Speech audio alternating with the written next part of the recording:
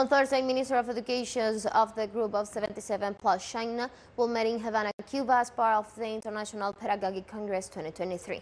This was confirmed by the Caribbean nation's Minister of Education, Ena Elsa Velasquez, who explained that the meeting is an opportunity to analyze the issues of concern to all nations in the post-COVID-19 context. Velasquez added that the occasion will also be an opportunity to address educational issues of interest to the member countries of the group and to consider the ties of cooperation and solidarity.